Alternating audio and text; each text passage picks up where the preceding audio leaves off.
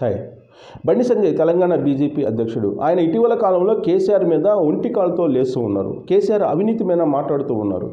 Parliament అనుమతిస్తే కనుక పార్లమెంటులో ఉండేటువంటి స్పీకర్ అనుమతిస్తే కనుక మొత్తం ఏ విధంగా తప్పుదోవ పట్టించాడు కేసీఆర్ ఆనాడు ఎంపీగా ఉన్నప్పుడు అనేటువంటి విషయాన్ని కూడా నేను బయట పెడతానంటూ బండి సంజయ్ అలాగే రేవంత్ రెడ్డి ఇద్దరు కూడా దాడి చేస్తున్నారు కేసీఆర్ మీద. అయితే బండి సంజయ్ ఒక అడుగు ముందుకు వేసి కేసీఆర్ మీద ఎప్పటికప్పుడు అవినీతి ఆరోపణలు చేస్తూ ఉన్నారు. ఆయన జైలుకు వెళ్ళటం ఖాయం జైలుకు పంపిస్తాననేటువంటి ఒక శబదాన్ని కూడా చేస్తూ ఉన్నారు. ఆయన చేస్తున్నటువంటి శబదాలు ఇప్పుడు మొత్తం అసలు ఇటీవల జరిగినటువంటి ఉప ఎన్నికల నుంచి గ్రేటర్ హైదరాబాద్ ఎన్నికల్లో సర్జికల్ స్ట్రైక్ చేస్తాము అనేటువంటి ఒక వ్యాఖ్య కూడా చేసి ఆయన ఒక ఉద్రేకమైనటువంటి వాతావరణాన్ని క్రియేట్ చేశారు. దాంతోపాటు ఇప్పుడు కేసీఆర్ ఇప్పుడు కేసీఆర్ని విమర్శించడంతో పాటు ఆయన అవినీతి ఆరోపణలతో పాటు కుటుంబ పాలన విషయాన్ని కూడా తీసుకువస్తున్నారు. ప్రస్తుతం ఎమ్మెల్సీ ఎన్నికలు రెండు కాన్స్టిట్యూన్సీలో జరుగుతున్నటువంటి క్రమంలో కేసీఆర్ మీద దాన్ని మరింత ఉధృతం చేశారు బండి సంజయ్. దానికి ప్రతిగా టీఆర్ఎస్ పార్టీ బండి సంజయ్ అక్రమాలను బండి సంజయ్ చేస్తున్నటువంటి అవినీతిని బయటపెట్టేటువంటి ప్రయత్నం చేస్తుంది. అందుకు సంబంధించి ఆధారాలు కూడా బయటకు తీసేటువంటి ప్రయత్నం చేస్తుంది.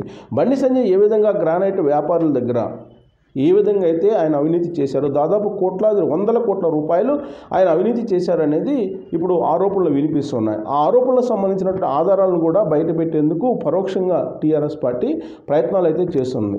ఒకవైపు కేసీఆర్ని కేసీఆర్ అవినీతిని బయటపెడతామని చెప్పి శబ్దం చేస్తున్నటువంటి బండి సంజయ్కు ఇప్పుడు ప్రతిగా టీఆర్ఎస్ పార్టీ ఆయన అవినీతిని బయటపెట్టడానికి సిద్ధమవుతున్నటువంటి క్రమంలో అటు బండి సంజయ్ ఇటు కేసీఆర్ ఇద్దరు కూడా ఎవరు ఎవరి అవినీతిని ముందు పెడతారు ఎవరు అవినీతిని నిరూపించేటువంటి అవకాశం ఉంది ఎవరు రాజకీయ శూన్యతను లేదంటే రాజకీయ దాడికి ఎక్కడ ఫుల్ స్టాప్ పెడతారు వీళ్ళిద్దరూ? అలా పరు పరస్పరం ఆరోపించుకుంటారా ఎలక్షన్లు వచ్చేంత వరకు? లేదంటే అవినీతిని నిరూపిస్తారా అనేది మనం చూడాల్సి ఉంది. నువ్వా నేను అన్నట్టు వాళ్ళిద్దరూ కూడా పరస్పర ఆరోపణలు చేసుకుంటున్నారు. కేసీఆర్ బహాటంగా మీడియా ముందుకు వచ్చి ఆరోపణలు చేయనప్పటికీ కూడా పరోక్షంగా బండి సంజయ్ మీద మాత్రం గ్రానైట్ రూపంలో కొన్ని వందల కోట్ల రూపాయలు వసూలు చేశారు.